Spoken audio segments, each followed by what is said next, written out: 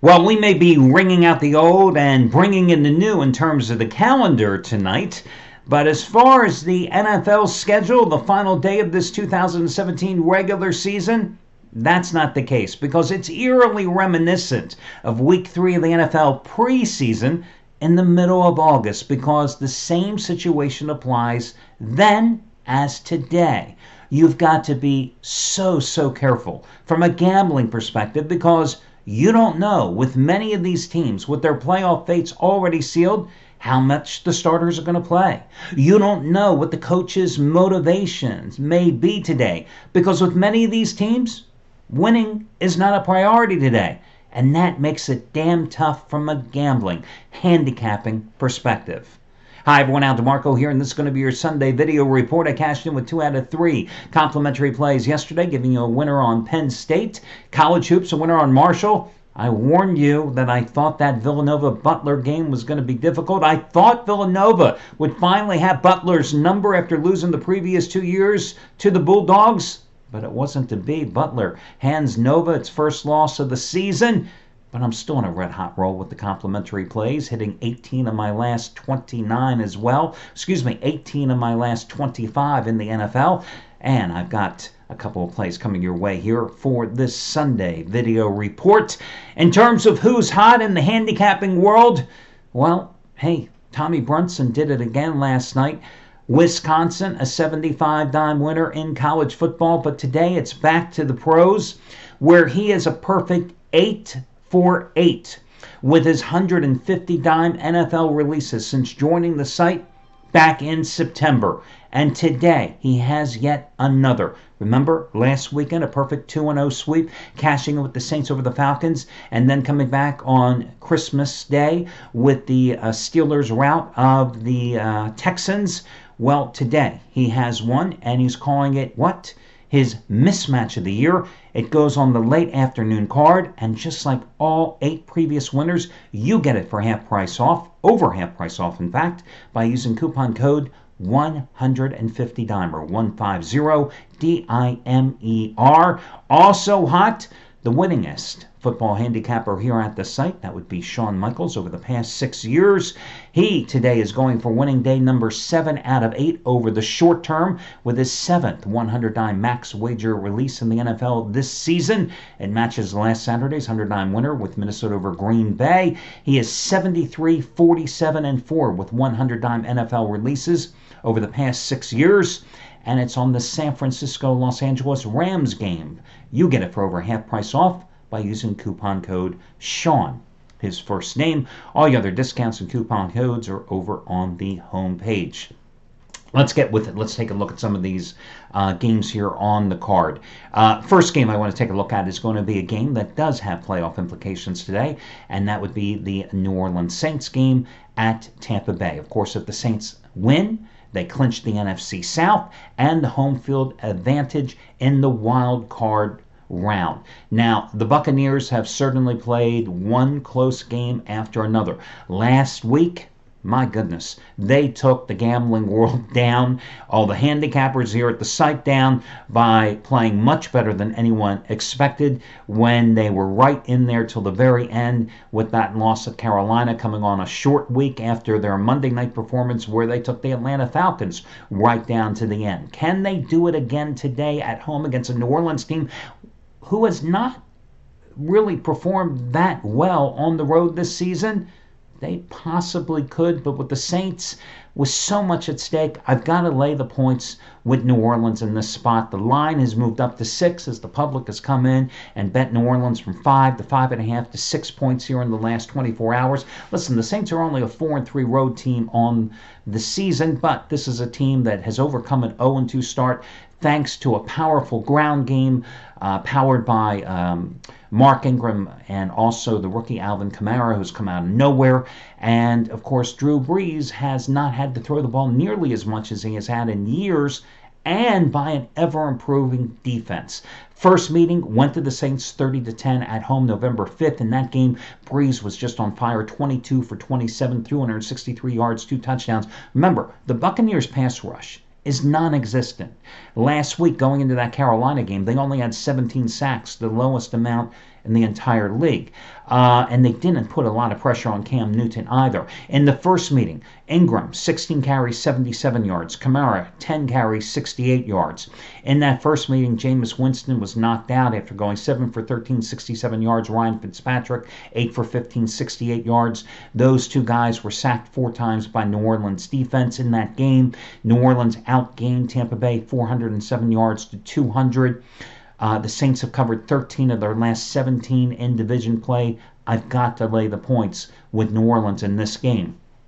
Another game that may or may not have postseason implications is the Buffalo game against Miami. Now, listen, the Bills' chances of making the postseason are pretty slim because uh, there's so many different things that have to happen to even allow the Bills to have an opportunity to sneak in. But let's just say that, uh, you know, if the Ravens and Titans, they both win their games today, they're getting wild card berths. If they lose and a number of other things happen, the Chargers and the Bills are still mathematically alive. But let's just for numbers' sake say that the Bills have something to play for. And the way the NFL schedule makers have backloaded the games, there are late game situations. So when those teams take the field, they know they have something to play for. And from a gambling perspective, the NFL schedule makers in recent years have done us all a favor by making these games, staggering them at the same time where the teams have something to play for. Nobody's watching the scoreboard. So, you know, for a league that doesn't really endorse gambling, hmm, they've really made it good from a gambling perspective. So the Bills are a two and a half point road favorite. Uh, they're two and five on the road. Hmm. But two weeks ago at home, they beat Miami 24 to 16. In that game, it was Tyrod Taylor, the guy you know that Sean McDermott benched earlier. He was the guy that led them to the win. Uh, in that game, 17 for 29, 224 yards passing, also 42 yards rushing, a touchdown through the air, a touchdown on the ground. The offense, 7 for 15 for uh, on uh, third down conversions. LeSean McCoy pretty much held in check by a bad Miami rushing defense, which was kind of surprising as he had 20 carries for only 50 yards, but he also had four receptions for 46 yards, so 96 total yards in that game. Jay Cutler was Jay Cutlerish. Uh, 29 or 28 for 49 uh, you know, 274 yards, but he was sacked three times. He was intercepted three times. And then the Dolphins, who were coming off that Monday night upset win of the Patriots, lost that game in Buffalo. Then they laid another egg in a 29 13 loss at Kansas City last week, which eliminated them from postseason contention. Now, um, one thing that I discovered in handicapping this game and researching this game, uh, Adam uh, Adam uh, Gase, their head coach, gave their third string quarterback, uh, David Fales, who hasn't thrown an NFL pass since he was on the Chicago roster when Gase was the Bears offensive coordinator back in 2015. He hasn't thrown an NFL pass since then. He got first team reps this week because there is a thought that Gase may try to get him some action this game because with Matt Moore's contract expiring, with Jay Cutler not expected to be back unless he's guaranteed a starting position, which he's not going to be because Ryan Tannehill, despite two ACL injuries in the past nine months, is expected to be back and being the starting quarterback for the Dolphins next year. Gase would like to know what he's got with David Fales. So it's expected that if the opportunity is there, Fales may get in here as the third stringer and get some NFL action here today.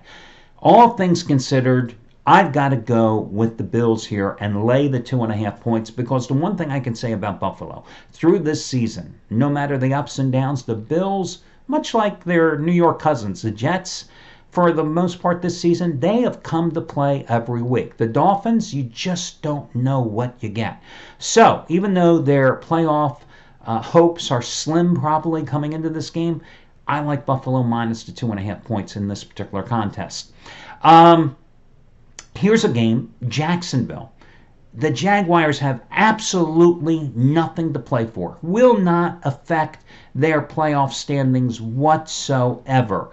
But uh, Doug Marrone says he's not going to play uh, rest his starters today, even though his team is locked into the number three seed. He wants momentum going into the first round. of their wild card home game. And it really does make sense.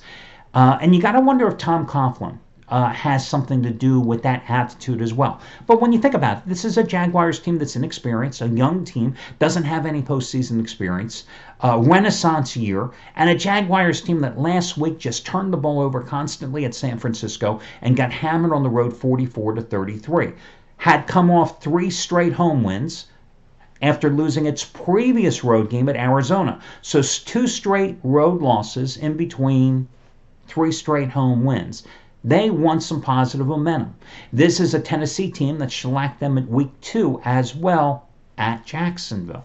Now, a Tennessee team that's fighting for its playoff life, but have the Titans looked impressive at all? No. They have not, because Marcus Mariota has struggled with a career high 15 interceptions. Uh, DeMarco Murray is going to be out, but that's okay. He hasn't been running well all season long. Derrick Henry, who has never had more than 15, 19 carries in a game, is going to get the bulk of the running uh, load here today. Um, I like Jacksonville in this game. They're getting two and a half points. And again, because Marrone wants to see his team get its mojo back going into the postseason, and no ifs, ands, or buts. Jaguars have the better defense. They've got a pass rush, which leads the NFL with 52 sacks. You got a Tennessee offensive line that hasn't been able to protect, protect Mariota much this season. You got Blake Bortles, who prior to that miserable three interception performance against San Francisco last week, had 21 touchdown passes on only nine interception, uh, eight interceptions on the season, and had thrown for over 3,400 yards before that poor performance. I like Jacksonville to bounce, bounce back in that game. Um, let's see. And one other game here. I'm just thinking of the other selection. I got to lay the points with Minnesota at home. Uh, Minnesota's offense, the defense showed up last week at Green Bay, 16 0 win. The offense certainly did not look good. But I like Minnesota to get its act together here and deliver at home today. The line is up to 12 and a half points. It started at 11. It's moved up steadily here. You got a Chicago team that's 2 and 5 on the road against a Minnesota team that's 6 and 1 at home. Of course, the Vikings need this win because it will get them the first round bye, so they do have something to play for. Uh, Case Keenum started his run, a 10 and 1 run for the Vikings when he replaced Sam Bradford uh, to start the second half of the game at Minnesota back October 9th, leading three second half scoring drives, going 17 for 21 in that game for 140 yards and one touchdown pass. At home this season, he's completed 68. Uh, 0.4% of his passes with seven touchdowns versus just two interceptions. You know, the Bears' ground game has ground to a uh, really come to a halt here over the past five weeks, averaging only like 88 yards a game. They're going against a Vikings run defense that uh, yields only like 87 yards a game.